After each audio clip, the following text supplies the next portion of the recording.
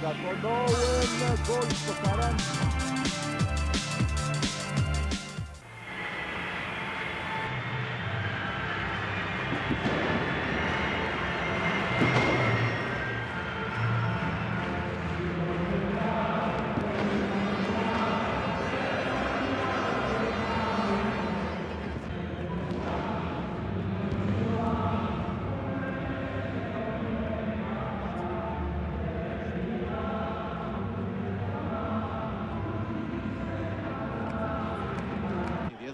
ο Παντελής Καφέ στη σέντρα.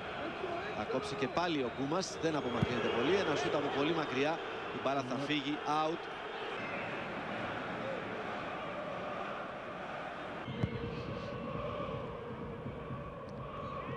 Θα πάρει την πρώτη κεφαλιά και ο Πιάτσικας. Το άνοιγμα για τον Σαλπικίδη είναι σε πολύ καλή θέση και ταχύτατος. Κάνει το σούτ απευθείας, ο Σάλια πέφτει και έρχεται να σώσει ο Κυριάκος πλάγια η πρώτη μεγάλη στιγμή στο παιχνίδι στο ένατο λεπτό από την ταχύτητα του Σαλπικίδη που βγήκε πρώτος στην μπάλα. Θα το δούμε όταν διακοπεί το βλέπουμε εδώ ενώ συνεχίζεται το παιχνίδι. Κοιτάξτε πόσο γρήγορα έφυγε. Πιάνει το σούτ εδώ πάνω στην κίνηση, διώχνει ο Σάχα και έρχεται ο Κυριάκος να απομακρύνει πλάγια στη συνέχεια. Η πρώτη επικίνδυνη στιγμή στο παιχνίδι για τον Παναθηναϊκό στο ένατο λεπτό. Δεν πέρασε, ξανά στον ε, Σκόκο. Πάει να κάνει το γύρισμα στην περιοχή. Ο Τζιμπούρ πάει να γυρίσει και γυρίζει. Όπως όπως να φύγει μπάλα μακριά. Δεν απομακρύνεται πολύ όμως. Κοιτάξτε τι γίνεται. Ο Σαλπιγγίδης υπάρχει φάουλ εκεί και πολύ σωστά το κατελόγησε ο Βασάρας. Προβολή την ώρα που προσπαθούσε ο Σαλπιγγίδης να απομακρύνει με την ΑΕΚ να γίνεται πιεστική σε αυτή τη φάση. Αλλά τελικά ο Παναθηναϊκός να μην κινδυνεύει. Όλα αυτά όπως βλέπετε στο 15ο λεπτό. Ξανά το replay. Κοιτάξτε τον Τζιμπούρ που προσπαθεί να γυρίσει κόντρα και στη συνέχεια απομάκρυνε και ο Ζιλμπέρτο Σίλβα. Μπασινάς θα γεμίσει και θα πέσει εκεί με δεύτερη προσπάθεια να μπλοκάρει ο Γκαλίνοβιτς, τον βλέπετε. Η ΑΕΚ βγαίνει επικίνδυνα μπροστά με το κόψιμο του Ενσαλίβα στην αρχή. Οργανώθηκαν οι παίκτες του Παναθηναϊκού. Ο Ενσαλίβα ξανά η σέντρα, το γύρισμα, καταπληκτική απόκρουση αλλά υπάρχει offside. Δεύτερη επέμβαση από τον Γκαλίνοβιτς. Δύο αποκρούσεις φοβερές που όμως δεν μετρούν αφού είχε σηκώσει τη σημαία ο βοηθός και είχε καταλογίσει σε θέση offside του επιθετικούς της ΑΕΚ. Θα το ξαναδούμε. Κοιτάξτε εδώ πώς βγαίνει ο Ενσαλίβα. Ο Μπλάνκο είναι μπροστά σε θέση offside και την ώρα που κάνει τη σέντρα όπως βλέπετε είναι πεντακάθαρη η φάση. Ο Μπλάνκο είναι σε θέση offside, δεν υπάρχει φάση. Ω, πρόβλημα, αλλαγή. Υπάρχει πρόβλημα για τον ε, Γιάννη Κούμα. Δεν μπορεί ούτε καν να περπατήσει. Και να δούμε ποιον θα βάλει τώρα μέσα. Υπάρχει ο Χρήστος Μελίσης ε, στον μπάνκο, αν θα δοκιμάσει αυτόν. Θα περάσει ο Χρήστος Μελίσης.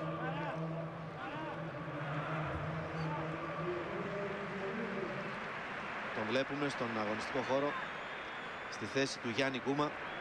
Μελίσης στα 26 του χρόνια. Πέρασε από τις αίρες, από τον Μπάουκ και τον πήρε το καλοκαίρι ο Παναθηναϊκός. Όχι πολλές συμμετοχές μέχρι στιγμής. Θα δούμε τι μπορεί να κάνει και ο Τζιμπούρ. Σκόκο. Ψάχνει στην περιοχή το Μπλάνκο. Είναι κόρνερ. Βγήκε πιο γρήγορα ο Σπυρόπουλος και πέταξε την μπάλα κόρνερ μετά από αρκετή ώρα. Ένα κόρνερ για την ΑΕΚ στο 30 λεπτό. Λείπει Κούμας. Απολύτως. Σαφέστατα και αποδυναμώνεται και στο ψηλό παιχνίδι η άμυνα του Παναθηναϊκού αφού ο Γιάννης Γκούμας είναι καλός και όχι μόνο στην άμυνα αλλά πολλές φορές έβγαινε και μπροστά και είχε κάνει και πολύτιμα γκολ για τον Παναθηναϊκό. Με στατικές φάσεις, με κόρνερ. Με Πάμε φάουλ. λοιπόν στο κόρνερ για την ΑΕΚ. Βλέπετε μπροστά και ο Μαϊστόροβιτς και ο Κυριάκος. Κάτι λέει ο Βασάρας εκεί στον τέταρτο διαιτητή, τον κύριο Ζωγράφο. Για το λέιζερ προφανώς, ή το νέο πρόβλημα στα ελληνικά γήπεδα. Να δούμε το κόρνερ. Μαϊστόροβιτς μπροστά. Κυριάκος, καφές όλοι για την κεφαλιά. Η κεφαλιά από τον Κυριάκο στο δοκάρι. Και θα απομακρύνει στη συνέχεια ο Σιμάο. Ο Σωτήρης Κυριάκος πήδηξε σχεδόν μόνος του. Πολύ καλό στο ψηλό παιχνίδι και το φάουλ για την ΑΕΚ. Θα ξαναδούμε τη φάση φαντάζομαι μέχρι να εκτελεστεί το φάουλ που έκανε ο Γκάμπριελ τώρα. Κοιτάξτε και πάλι. Η κεφαλιά από τον Κυριάκο πολύ δύναμη. Ο Γκαλίνοβιτς απλά παρακολουθούσε. Να εδώ τυχερός ο Παναθηναϊκός γλίτωσε τα χειρότερα στην κεφαλιά του Κυριάκου στο 31. Γκάμπριελ. Μάντζιος για το Σαλπιγγίδη, πολύ ωραία. Ανοίχτηκε πλάγια, κάνει το γύρισμα στην περιοχή και από κοντά μια εκπληκτική ευκαιρία, απίστευτη για ένα παίκτη της κλάσης του Ζιλμπέρτο Σίλβα. Στο 32 θα το ξαναδούμε για να δείτε κι εσείς τι χάνει ο Ζιλμπέρτο Σίλβα στο 32. Κοιτάξτε ο Σαλπιγγίδης, γυρνάει από εκεί, έρχεται ο Ζιλμπέρτο Σίλβα ολομόναχος, πλασάρει και και η μπάλα θα φύγει out. Μία από τις πολύ μεγάλες... Κοιτάξτε, από το ύψος της μικρής περιοχής. Όλα μπαίνουν, όλα χάνονται. Ένας μεγάλος ποδοσφαιριστής όπως ο Ζιλμπέρτο Σίλβα και όμως χάνει αυτό το γκολ. Κοιτάξτε, ούτε ο ίδιος δεν μπορεί να το πιστέψει Γιάτσα. Ο Ζιλμπέρτο μπροστά. Η μπάλα θα περάσει από όλους και εκεί θα μπλοκάρει ο Σάχα στη συνέχεια. Κερδίζει ο Πλιάτσικας, αφήνει το πλεονέκτημα ο διαιτητής γιατί έκανε φάουλ ο Ζιλμπέρτο στον Πλιάτσικα. Η παλιά του Μπασινά για τον Μπλάνκο είναι καλή. Πάει να κάνει την προσπίση και να μπει στην περιοχή και το σουτ πολύ καλό πάνω στην κίνηση από τον Αργεντίνο. Η μπάλα out. Η πολύ καλή ενέργεια από τον Ισμαήλ Μπλάνκο. Τον βλέπετε εδώ. Στα 26 του χρόνια. 19 Γενάρη έχει γενέθλια. Κοιτάξτε την κίνησή του και το σουτ. Ζιλμπέρτο Σίλβα θα αλλάξει παιχνίδι για το Μελίσι. Η παλιά του Μελί στην περιοχή για το Μάτσιο. Θα πάρει την κεφαλιά ο Μάτσιος, αλλά είναι αδύναμη στην αγκαλιά του Σάχα. Καραγκούνης που πήγε πάλι αριστερά. Θα περάσει για το Σαλπικίδη. Ο Γκάμπριελ δεξιά, Ανάτος.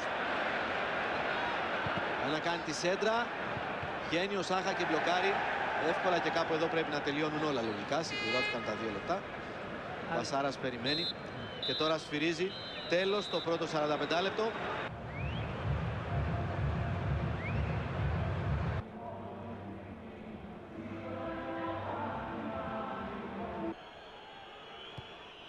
Από τον Μπασινά, η κεφαλιά από τον Κυριάκο. Πήρε και αυτή την κεφαλιά.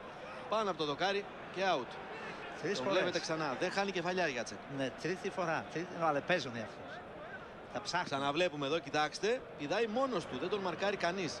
Παίρνει την κεφαλιά και κοιτάξτε πάνω από το δοκάρι. Ξανά από το φάουλ του Μπασινά. Κοιτάξτε, ολομόναχος ο Κυριάκος. Σαριέκη τώρα, έχει χώρο. Ο Σπυρόπουλος δίπλα του, ο Σαλπικίδης. Περνάει για τον Σαλπικίδη. Για να δούμε. Η παλιά του απελπιστικά άσχημη. Φεύγει από την άλλη άκρη. Δεν την πρόλαβε κανείς. Έτρεξε ο Γκάμπριελ. Βαθιά παλιά για τον Σαλπικίδη που είναι πολύ γρήγορος. Θα προλάβει. Το γύρισμά του, κόρνερ. Έμπαινε ο Μάτζιος, ο Μαϊστόροβιτς. Αυτό, Είναι κόρνερ. αυτό 3-3 μπορεί να δημιουργεί πρόβλημα. Ασφαλώς θα κάνει πιο επιθετικό το πράγμα. Ναι, ναι. Κοιτάξτε εδώ και πάλι πως έφυγε. Πολύ γρήγορα ο Σαλπικίδης. Θα προλάβουμε να το δούμε πριν εκτελεστεί το κόρνερ. Κοιτάξτε. Ο Παναθηναϊκός τρέχει. με Το Ρουκάβινα. Ο Σαλπικίδης θα προλάβει. Πρόλαβε το γύρισμά του. Από κοντά. Ούτε αυτή τη φορά τα κατάφερε ο Ζιλμπέρτο. Βρέθηκε πάλι στην κρίσιμη θέση. Αλλά δεν μπόρεσε να στείλει την μπάλα στα δίχτυα ξανά σε μια πάρα πολύ γρήγορη αντεπίδεση. Κοιτάξτε το γύρισμα του Σαλπικίδη, ιδανικό. Έρχεται ο Ζιλμπέρτο, κοιτάξτε. Βρίσκει την μπάλα, αλλά με το εσωτερικό το πλασέ που κάνει, στέλνει για μια ακόμα φορά την μπάλα out. Ξανά καρμπώνει η προηγούμενη φάση. Φαίνεται αριστερό, δεν δεν δούλεψε με αριστερό καθόλου. Γιατί δύο φορές ήταν αριστερό πόδι, ειδικά αυτό.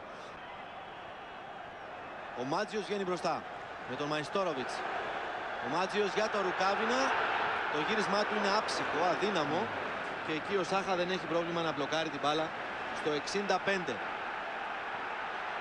Ναι, Ξανά είδατε κι εσείς τη φάση από το Ρουκάβινα. Όπου να είναι θα έρθει και η ώρα των αλλαγών για τον Μπάγεβιτς. Στρώνεται στον Καραγκούνη, ψάχνει να κάνει την τρίπλα, κάνει και το σουτ στην αγκαλιά του Σάχα. Ένα καλό σουτ για τον Γιώργο Καραγκούνη στο 67.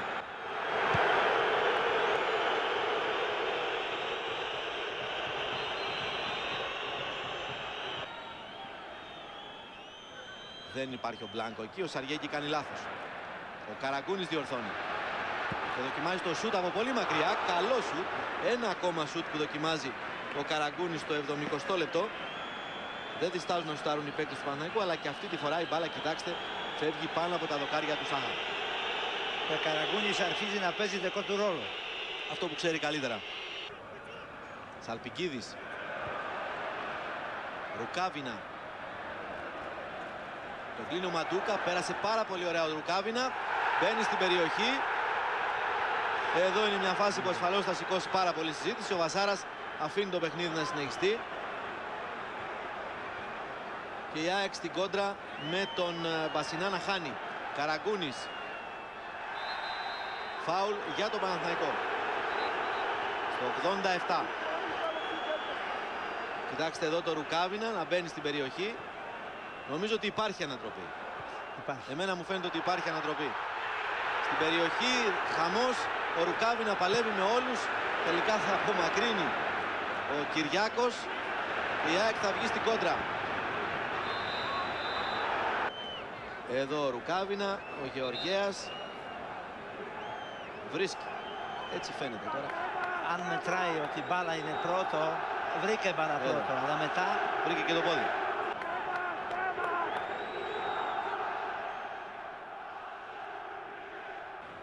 Συμπληρώνονται και τα τρία λεπτά.